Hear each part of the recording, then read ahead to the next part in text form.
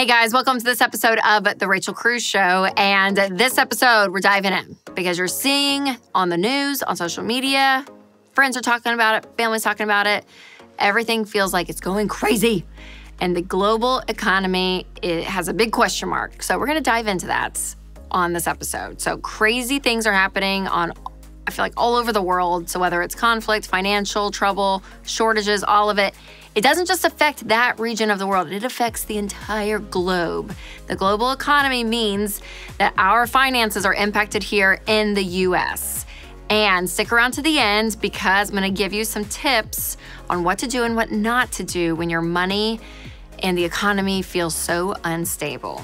So, you probably know a lot of retailers and other big companies have completely pulled back and stopped business in Russia because of their conflict with the Ukraine. And we're talking about huge corporations like Apple, Nike, IKEA, Netflix, Disney, Starbucks, American Airlines, Exxon, Shell, Goldman Sachs and most of the major tech companies and a whole lot more. So the US has placed sanctions on Russia's central bank and immobilized the reserves it held in the US financial system. So the US has also banned the import of Russian oil natural gas, and coal into the US. And those are just some of the high level highlights of what is currently being sanctioned because of the conflict. So, what are sanctions? What does that mean? Well, sanctions are commercial and financial penalties that one country puts on another country to have them to stop acting aggressively or break international laws. And so we're doing all of that right against Russia because of what they're doing to Ukraine. And we're doing that hoping that it hurts the Russian economy and so that they back off. And if enough countries do it, you want that pressure on that country. But the sanctions in Russia create a lot of downsides for the global economy as well. So, for example, there's reduced exports of food and important agricultural related goods that lead to higher food costs for us. Like bread, for instance, a lot of grain, a lot of wheat comes from Russia. And so now you look at our bread prices because we're not getting that from them, and our prices go up, up, up. And sanctions may also lower corporate profits in the US and Europe, partly because of the rising energy costs and technology firms that have pulled out of Russia. So, how do consumers like us feel the impact? Well, this is where inflation comes into play, which we are all seeing. And the current inflation that we're facing right now, yes, has to do with Russia and the Ukraine, all of that. But also, guys, we're coming out of a pandemic. So it's kind of like the perfect storm. So the supply chain challenges and shortages that companies are facing cause prices to go up, which means we pay more, which means our wallets, our bank accounts, our budgets, we all feel it. But there's also a possibility that countries who are receiving the money that was being directed to- towards Russia, not anymore, so the money's now being directed other places, those countries may actually see their economies grow. And it's more likely that some of the foreign money that would have flowed into Russia is going to come back to the US instead, which is a good thing. But we can only make predictions on what will happen because we don't know. We don't know the future. We don't have a crystal ball. And the reality is, no one knows how this crisis is going to escalate, where it's going to go from here. And I know a lot of people are concerned and they're anxious about the future, which is totally understandable. But we have to take a deep breath and think about what we can control right now. We don't want to just sit here in fear wringing our hands on things that we have no power over. So, again, focusing on what you can control because we can't change the fact that prices will go up, prices will go down, scary things are happening all over the world. But again, we can control our money habits, we can control the money that flows in from our income. And all those things are so, so important to focus on. So, when things are uncertain like this, do not pull money out of retirements Okay, don't freak out and watch. Remember, your retirement, your investments are for the long term. Stay in it. Also, do not panic and buy and overspend on stuff that you don't need just because you're freaked out.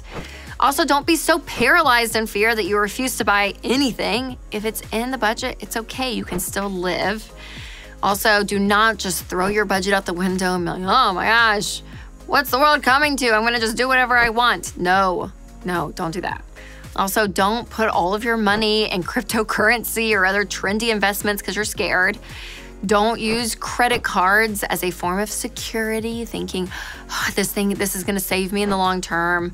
Okay, so so just focus again on what you can control. So stay calm. Everybody stay calm. What's the procedure, everyone? Make sure that you have an emergency fund in place. If you do not have cash saved, whether it's your starter emergency fund of $1,000 or if you're out of debt and you have your fully funded emergency fund, make sure you have cash. So if something happens or when something happens, you have money. Also, stay on top of your budget. If you are not someone that's very intentional with where your money goes, this is the time to do it, okay? We're all feeling it inflation, everything going on. Control your income, and the best way to do that is with a budget. Also, if you're kind of feeling, you know, the budget, and you're like, oh my gosh, like we're spending a lot on groceries, a lot on gas, the margin we used to have, we don't have anymore look around your house and sell stuff. It's amazing the amount of stuff we have in our homes that we do not use. Sell it and make some cash. Even downsize or downgrade if you need to on anything, whether it's a home or a car. If it's something that you're like, wow, I'm living way above my means, you may have to make some big calls to say, okay, what can I do to lower whether it's payments and sell a car, or even if your house payment, you guys, is like 40, 50% of your take home pay, you have too much house. So some big changes may need to be made. Also, make sure that you have things like health insurance, you have a will. These are really important things to have. Also, I would say keep investing. If you are completely debt free and you have your fully funded emergency fund of three to six months of expenses, which that's baby steps one through three, if that's covered, keep investing. Don't stop, don't freak out. Trust me, over the long term, because of compound interest, you're going to want to be investing. Also, get help if you need it, okay? So, if these basic things of personal finance, whether it's budgeting or investing or saving, getting out of debt, and you're like, oh, I'm overwhelmed, I'm confused, then have someone in your corner who can help you. You can use a financial advisor. I would say take a Financial Peace University class. Whatever you need to do to get the information you need, do it. Okay, so much is going on. Again, I feel like there can be a lot of fear, a lot of uncertainty, but remember to control what you can control. And so that's gonna be your mindset, that's gonna be your habits, that's gonna be what you put inside of your brain. So if you sit there and watch the news 24 7, probably gonna go crazy. So just watch what you're doing, watch what you are putting in your brain, because that's eventually gonna come out somewhere. So be wise about it. I don't want you to just put your head in the sand, I want you to be educated and know what's going on. But I also don't want fear and things, again, that you can't control affect your daily joy in living life. I don't want you to be paralyzed by fear. So there's a lot of peace in life when you say, okay, here are things over here that I just have no say over. I can't change that. I can't do that. So I'm not gonna worry about that. What are things that I can control? And I'm gonna focus my time and my energy on that. And that, you guys, is how you have peace when it comes to your money and your life. Because remember, I want you to take control of your money and create a life you love.